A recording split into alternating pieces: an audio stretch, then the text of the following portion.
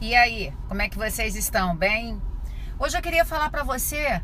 Começou a semana, o ano tá acabando e você já experimentou ser feliz? Aqui não cria grande expectativa da sua vida de felicidade, não. Felicidade é algo muito assim. Para ser feliz basta desejar ser feliz. Você deseja? E a gente fica criando tanta expectativa, né? Eu vou ser feliz quando eu emagrecer, quando eu casar, quando eu ter o filho, quando eu tiver um neto, quando eu comprar um cachorro, quando eu vender o cachorro, quando eu separar.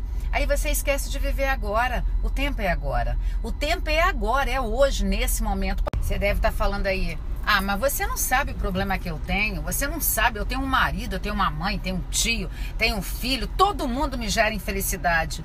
E aí, aprenda uma coisa que é a verdade. Ninguém faz a gente infeliz. Mas eu quero deixar com você quatro passos para você ser feliz. Quatro passos. Pega uma caneta, anota aí que eu vou te ensinar quatro passos para você desenvolver a felicidade que está tendo de você. Primeiro passo: autoconhecimento. Saiba quem é você, busque saber quem é você. Chega, chega de colocar expectativa no outro daquilo que é seu. Aí a gente funciona muito pelos mecanismos de defesa. São aqueles que são desejáveis. Não dá para viver uma vida sem se conhecer, sem saber quem você é, sem saber suas deficiências, suas qualidades. Tenha autoestima. Segundo passo, busque fazer exercícios físicos, busca desenvolver dentro de você a produção natural dos neurotransmissores que são responsáveis pela sua paz, pela sua felicidade. 40 minutos de exercício físico faz com que então, o segundo passo é exercício físico. Você tem que buscar fazer exercício físico. Você tem que buscar é, resolver suas questões emocionais, às vezes, também desenvolvendo um eliminar o estresse, eliminar essa ansiedade que está dentro de você, a angústia. E então, exercício físico é uma forma que você tem de aliviar essa carga emocional que às vezes você não consegue aliviar só falando. Então, porque são quatro fatores, não são só um, são quatro. Então, o segundo é exercício físico. Faça exercício físico que você vai o exercício físico tira esse cortisol negativo que está dentro de você. O exercício físico ele tira essa angústia que às vezes está dentro de você, essa tristeza que vem de vez em quando, que não é depressão, mas é uma tristeza que te dá. Então, uma forma de você gerar de uma forma sim, não sim. Hoje a gente vive uma era que é mais fácil às vezes tomar remédio do que fazer exercício físico.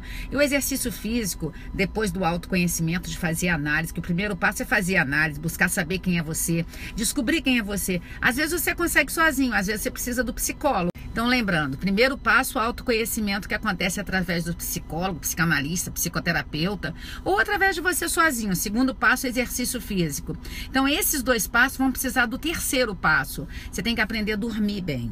Você tem que aprender você tem que aprender a cansar seu corpo para depois poder dormir bem. Porque o autoconhecimento, o exercício físico precisa do terceiro passo, que é dormir. Você precisa de seis, sete ou cinco horas de sono, não importa, cada pessoa tem um tempo.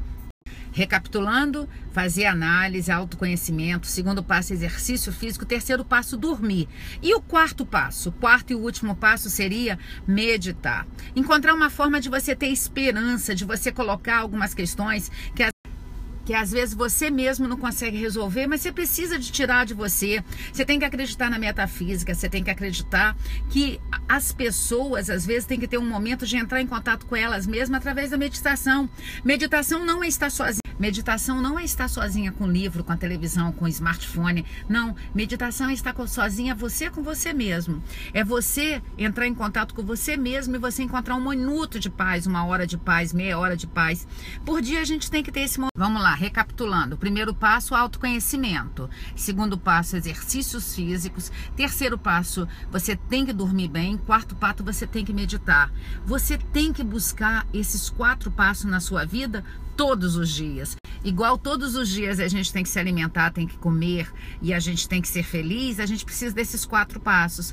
Lembrando que no exercício físico está entre parênteses a alimentação, porque você comendo bem, você é o que você come. Eu vou colocar aqui. Gostaram? Gostaram desses quatro passos? Eu parei aqui antes de chegar, eu tô com a tarde de atendimento, mas para deixar para vocês essa dica, quatro passos que você pode entrar em contato com você e você pode de verdade ter a felicidade que você tanto